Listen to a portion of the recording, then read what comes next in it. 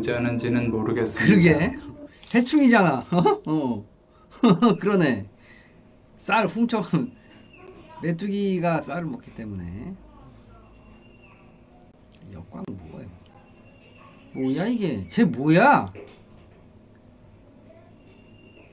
야, 너 여기 어디야? 어?